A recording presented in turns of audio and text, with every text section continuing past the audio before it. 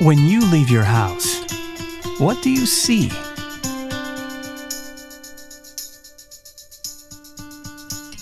Hardworking people?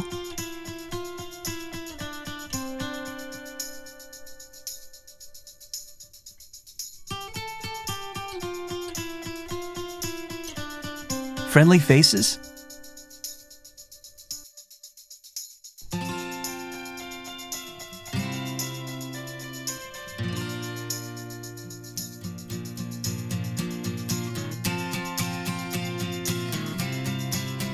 Children playing?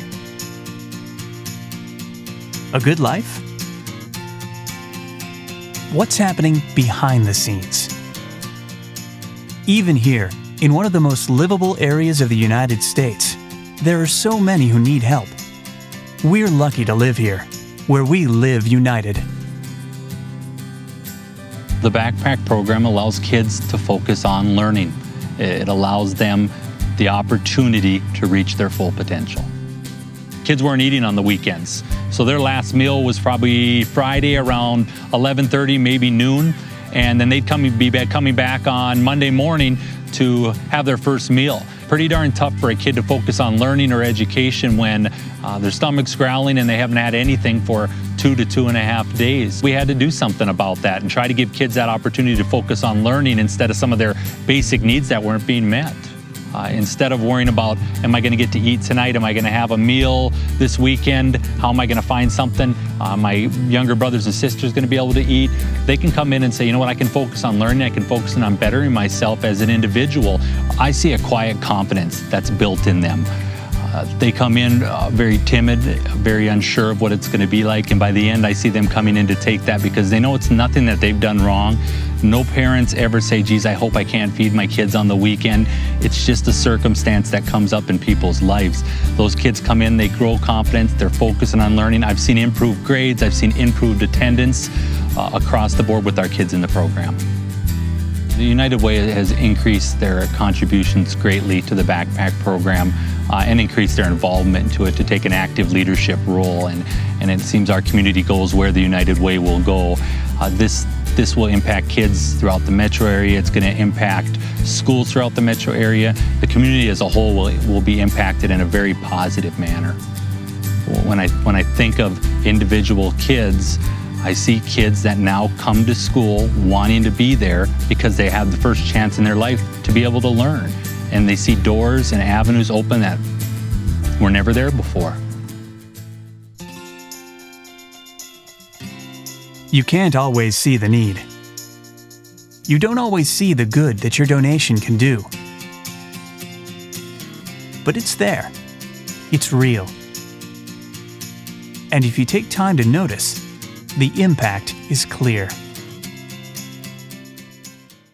In 2003, we lived in Arkansas. It was my oldest son, Jabaz, and my youngest son, Chaz. Damara needed a home. She was six years old, Down syndrome, and extremely ill. We looked for the Downs clinics. Fargo, North Dakota had one of the best in the United States. Packed up my kids from Arkansas, and we moved up here to North Dakota. Um, she needed a home, and she needed a permanent home. So in, in 2005, we started the process of adopting Damara.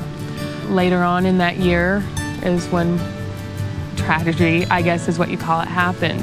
Some rare condition uh, called nervous system sarcoidosis and pseudotumor cerebri attacked my optic nerves. During the adoption process, I was going through surgeries and all sorts of things to try to save my eyesight from 20/20 vision to totally blind within three months, lost it all. The happiest moment of that time, though, was on May 5th. Damara's adoption was final. I still had my eyesight. And I got to see her say, I get a mommy forever. And it was the best day because that's the last thing I remember seeing.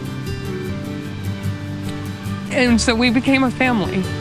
Us being in an apartment, it's been really hard to get them all out to play safely. That was my first thing. So I wanted a home for my kids so I could fence a yard and just let them run wild and be kids. Somebody told me about Habitat that they could help in my situation.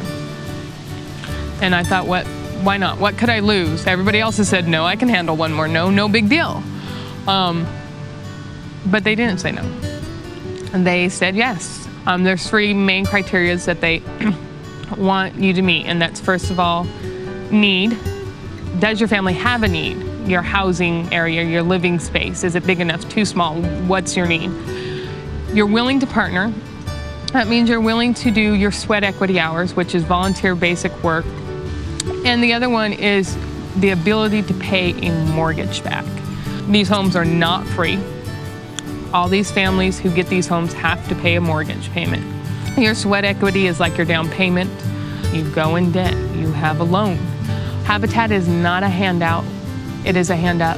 It helps people who, like myself, who hit bumps in the road, get over that bump into a home and help them get back on track.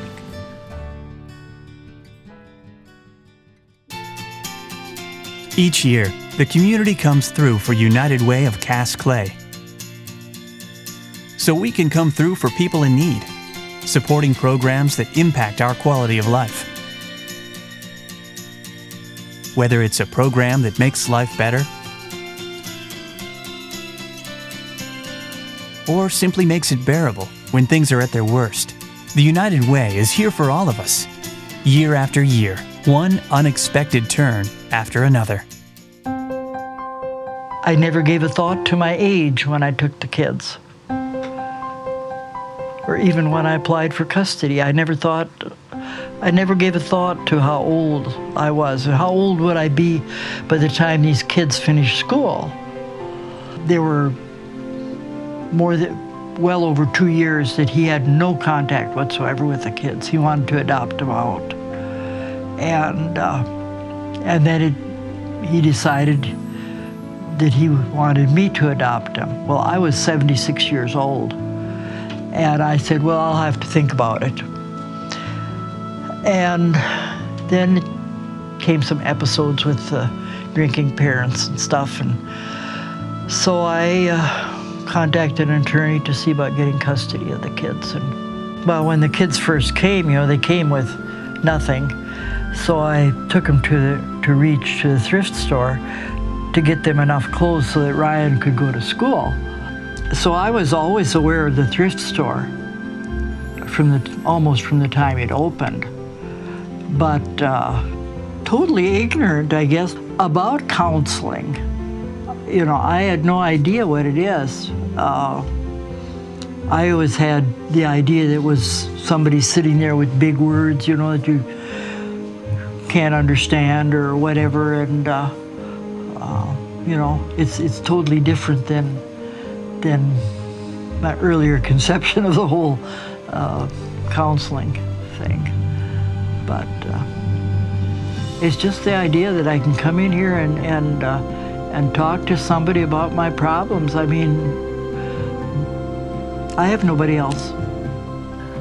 I know for me it's been a success.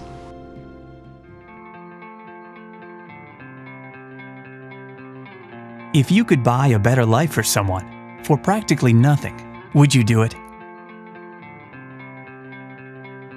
If your direct deposit shrunk by a few dollars each paycheck, would it matter? We're lucky to live here.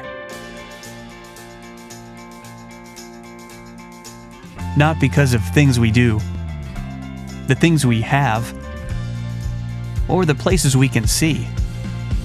Cass and Clay counties are a great place to live because of the quality and the character of its people.